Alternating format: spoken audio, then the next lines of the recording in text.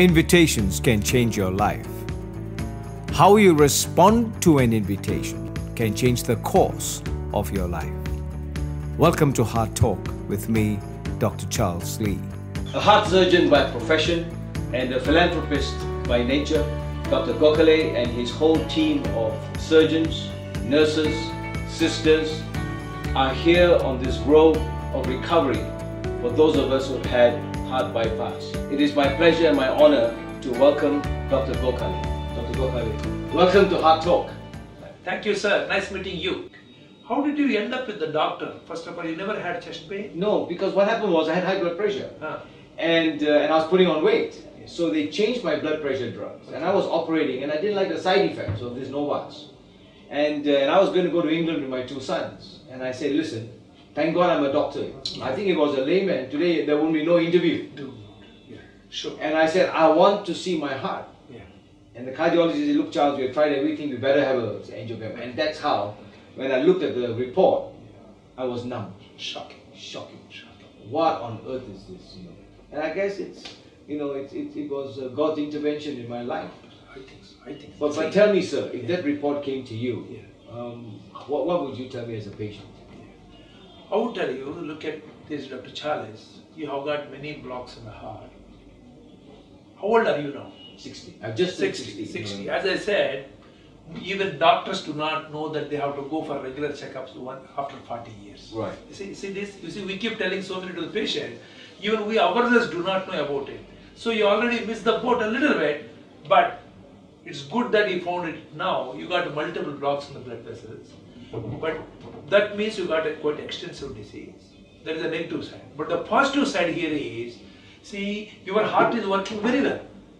See, one of the most important thing for people to live longer is the, how is the heart function. If you had a major heart attack, heart function from 60% has come down to say 25 30%, they will not live as long as the people with a good heart function. With the, you so you have a good heart function, 65%. so you uh, 65%. injection Fortunately, heart is not damaged, and you have multiple blocks which are found in time. So you need to go through bypass surgery for these things, so that you can stay healthy for the next few decades, provided you take care of yourself. And do not look at other options. Many people think that people like this multiple blocks, we can try medical management, we want to avoid surgery, we want to go for angioplasty, we want to try alternative medicines. Right. There are many alternative treatments that are available in other specialties. But remember, the treatment of coronary artery disease has been very scientific. Thousands of papers have been published on, on coronary artery disease. It is one of the very few topics that have underwent extensive studies in the whole of medicine. So with all this scientific background, don't go for alternative medicine, which may work, but which do not have enough scientific backup. If you want to try on myself, if I want to try on myself, I want to take the proven treatment, not some experimental. I go for experimental uh, when proven treatments are not possible for me. So for you, surgery is the best option. And we will try to take a mammary artery from here. It's Yes, called you have done intrathoracic it. artery. Yes, Put it to the vessel on the front. And when you have, suppose people have two blocks or three blocks and non-diabetics, we can try both intramammary artery. But someone who is a diabetic, who is obese, who has got so many blocks, it's very difficult to revascularize with all arteries. So we generally use one artery and the remaining we take a vein from the leg and put it there. And the artery will work for a long time. The 10 year working of this artery, which I said internal mammary, is about 98 to 99%. That means in 100 people at the end of 10 years, this artery is still open, doing very well. Whereas the veins, they have about 10 20% failure by the end of 10 years.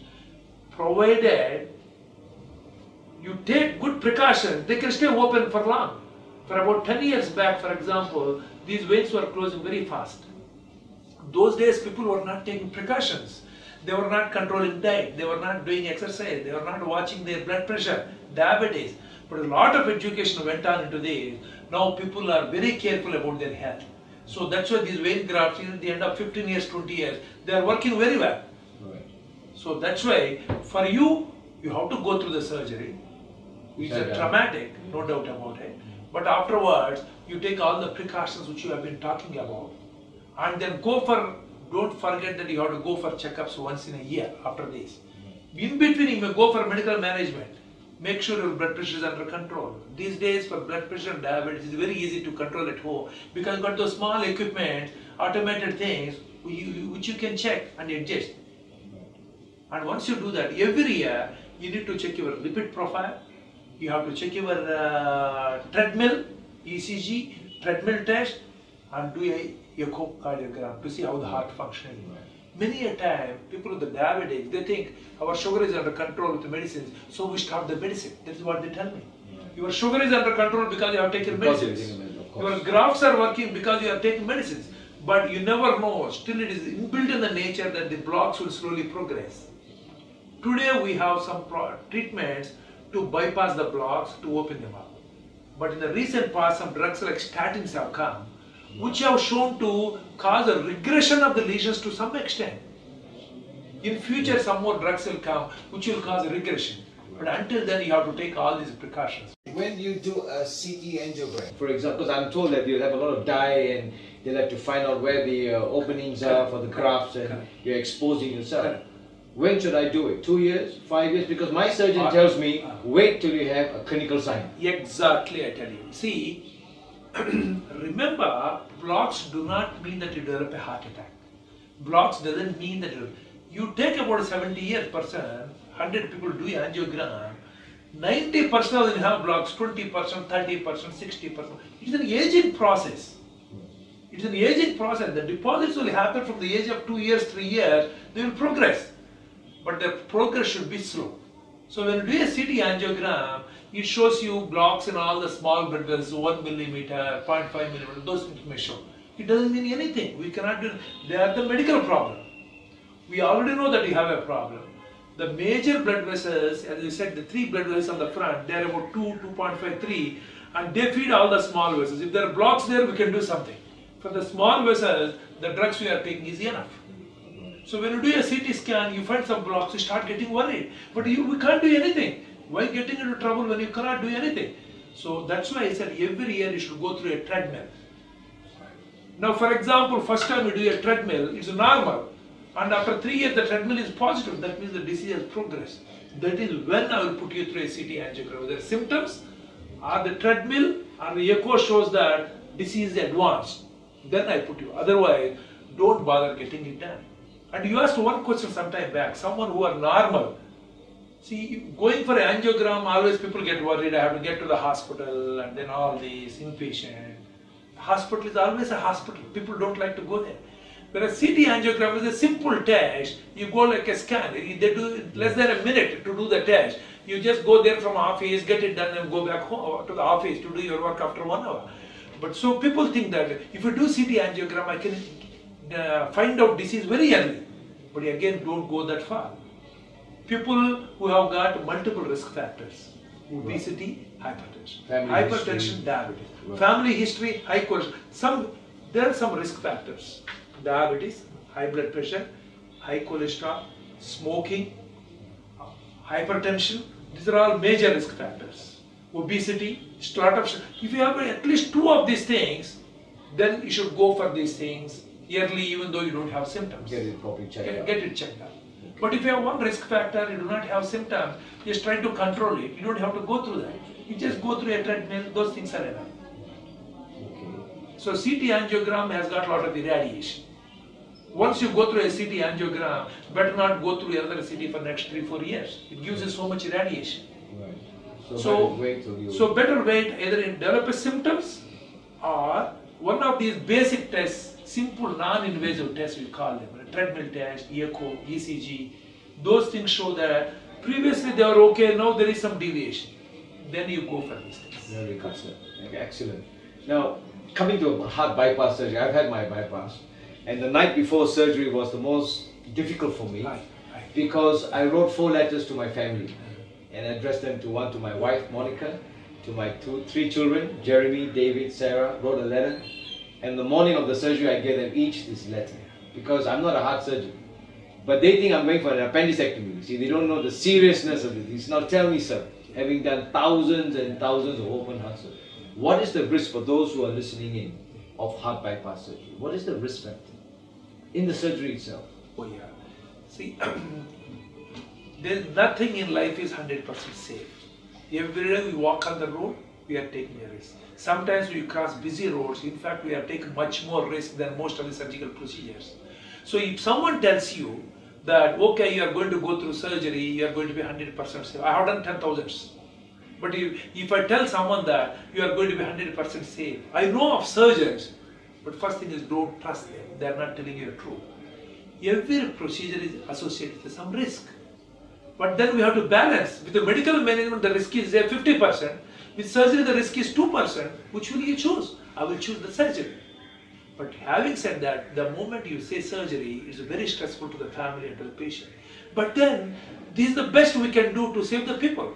If everything is fine, people do not have, they're not less than say 70, 75 years of age, and they're not very obese, and then the other organs are working all right, kidney, brain, lungs, everything is working all right, and the heart function is good, then the risk is less than 2%. That means 98% of people have to go through the physical, psychological trauma, but they will come out, do well, take care of their family, take care of their life, enjoy this world. But two out of, which one out of those 100 we cannot tell. But there may be a reaction to the drug, and the bypass grafts may block, they may have bleeding tendency, and anything can, they may have a paralytic stroke. Two out of 100 can have complications.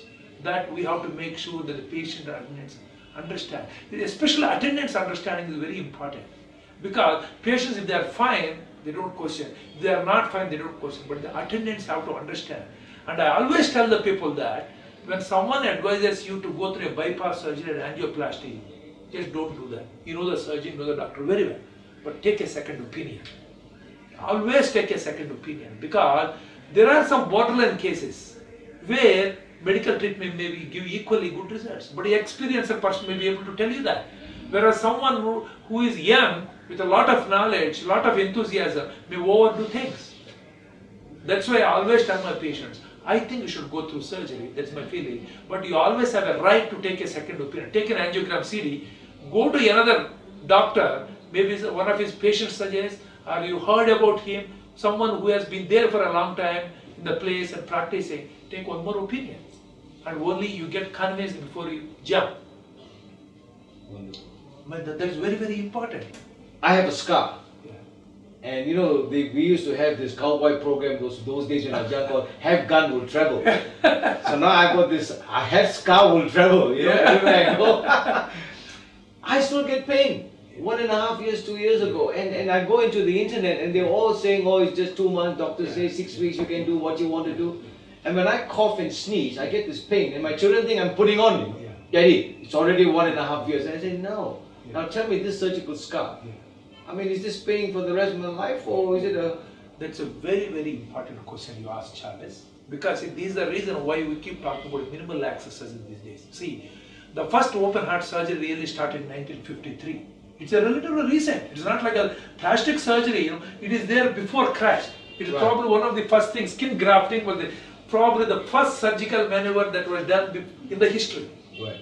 That was the actual first transplant that was done too. Yeah. But you know, the surgeries, millions of people have survived. But remember, we cut a bone and we, we stitch the skin. And once you do that, especially the skin here, you know very well it is more prone for keloid. Yes, here I as have well it. as I there. have it, yes. Yeah, here as well as there. Yeah. And people come to me after years, Dr. Gokhale, see, you saved my life, but I'm suffering this problem. I can only say, I'm sorry, this is the best I can do at this stage. Because all the heart operations are going through this till now. So about 10% of the people develop hypertrophy of the scar, keloid, and then complaining about a year, two or three. As you said, like your children, all the attendants think that, oh no, you are able to go to a movie, you are driving, you are doing everything. right. But then when it comes to suddenly you say, how this come? Yes, some people are learned because this healing, this mechanism is totally unknown. Some people do. Unfortunately, I cannot help. I can only assure them that your heart is fine, but they are having a real problem. That's why these days we are able to take this one more step forward, do what is minimal access surgery.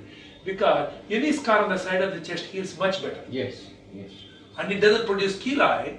And these days, for some people who are able to do this bypass surgery through a small incision below the nipple, through the intercostal space without cutting the ribs, without cutting the breastbone. And these people, they are so happy. You should see some of them, they come back. They say that when I'm going for walking, people ask me, I underwent the surgery. We, show me the scar, I have a lot of problem. When I show the scar here, they say that, no, no, I don't think Dr. Gokhale did bypass surgery for you. Just go get verified. Because it gives them so much satisfaction Sure. that they don't have this problem. See, you know, science is always Advancing, isn't advancing, advancing. As you go along, I'm sure in future, some people can get done through a airports. I keep telling the same thing to all my colleagues. Another 20, 30 years, 40 years from now, suppose 30 years, and if God permits I'm alive, my grandchildren come and say, when one of my patients comes and says, you know your grandpa did my surgery, look at this, he did my bypass, I say, I'm alive. Then they would come and say, "But grandpa, are you a butcher or a doctor? You made such a big scar on his body, you cut to do his surgery? Because by the time all this will be controlled by medicines, and I'm sure some of the sure. minimal access things will come like through a thoracoscope, robotic, you do the surgery, Yes. send the person home in uh, two, three days time, they go back to the work in about one week, 10 days time, with a lot of confidence, taking all the precautions. That is what we are going through. So we should never give up. We have a diabetes, well, we, what can, we have to live with it. But if we manage diabetes, we can live like other people, enjoy the life. We have bypass surgery, not to worry. Already what happened happened. But you can take the precautions so that your heart continues to be healthy. But you have to work harder than other people because we miss the boat in the initial phase. But you take the precautions, do everything. People say that don't eat that, don't eat that. It is true. There is only a guideline. So many patients ask me, Dr. Gokhale, I like mutton. I like mutton biryani. They say, no, no, don't eat it. Stop it. Eat vegetarian. Then what's the point in living for 30 years if I don't eat what I like? It is true. Let me shake your hand there. No, it is true. It you is- eat, is, uh, you eat, but, but cut down. yeah. But cut down. Cut down. Previously, I was eating mutton every day. Make it twice a week. Enjoy in limitations, because we are not meant to live in this world. I mean, not doing what we like. Your profession is stressful, but you still enjoy it. So maybe you do modifications so that you still enjoy the work part time and probably take less stressful thing at the rest of the time. But do what you enjoy. You are meant here to enjoy this world. Amen, amen. I, want to just now slowly end by something that I've, I've noted, which happened to me, which is a surprising sign of an unhealthy heart. You know, some say that uh, you can have neck pain or systems pain or whatever. Erectile dysfunction. Yeah. I had that about two years before I was diagnosed as having uh, advanced heart disease. Um, so tell me, how does that affect? Does it also affect the blood? Like you said, it affects blood vessels everywhere. Because it really affected me and I didn't know what was the cause. But now I know that I warn people, in fact my own urologist, I say, listen, anybody coming in with erectile dysfunction more than 50 years, get the guy checked out. It is true. It is true. See, there may be telltale signs like this erectile dysfunction, someone having a little toothache without a tooth problem. See, people have talked about these things. But you know, for a cough, there are 1000 reasons for cough. Erectile dysfunctions, there are about 110 reasons for erectile dysfunction. So anyone, that's why I said anyone past 40 years of age, even if you are everything is fine, get your checkups done. Don't imagine yourself that you are fine. That's important.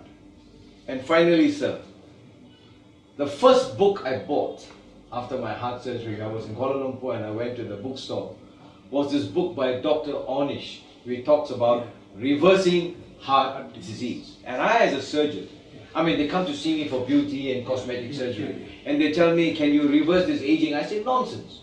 I can delay it. There are certain procedures that we can do to try and, you know, uh, prolong it, but no way I can reverse it.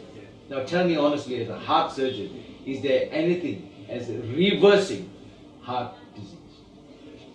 The blocks in the blood vessels, you see, you have to understand the meaning behind it.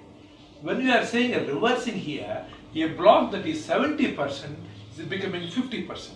Okay. not that totally disappearing or that it becomes like a beautiful uh, blood vessel of a three-year-old child. It's not like that. What we are seeing are shadows. No one can go actually inside and see. We are underestimating a lot of disease. Suppose even sometimes we see angiograms. People come with angiogram for surgery, but I have a little doubt. When I repeat an angiogram, we found it's only 30%, not 70%, because depends upon which view you have taken Right. and how much focusing has been done. There are a lot of man-made errors can happen estimating these things. These are all visual, not really technical most of the time.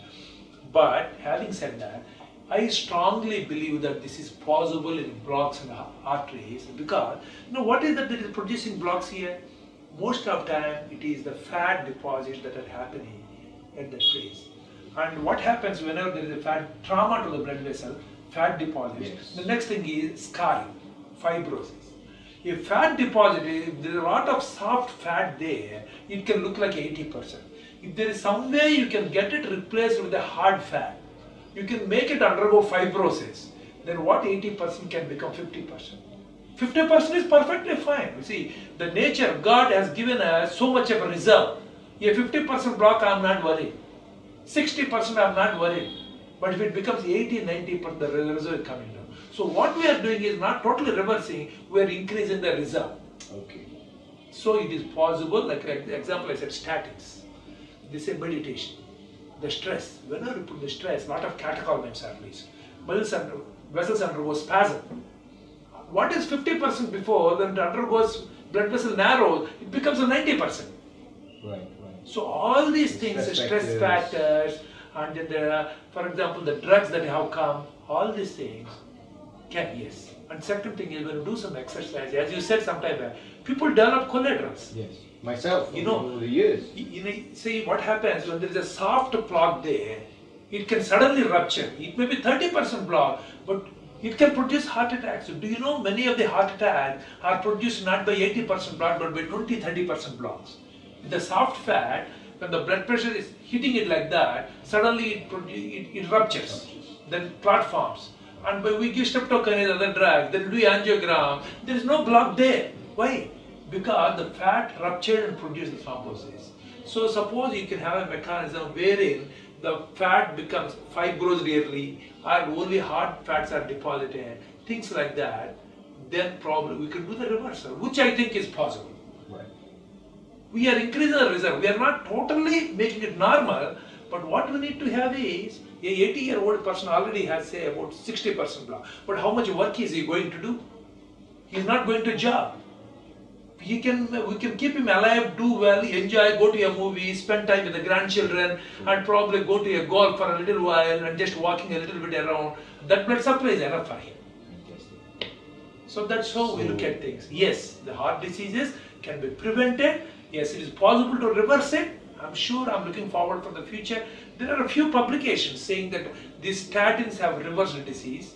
Sometimes it can be the angiogram may not be right. It may show less. It may not be actually reversed in that particular case. But it is possible. And with that hope, I think we should live, work hard, do what you want to do.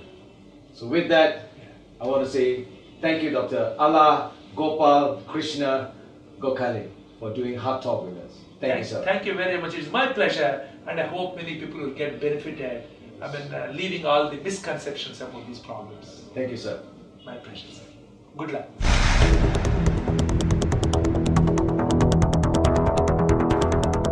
Enjoying limitations because we are not meant to live in this world. I mean, not doing what we like.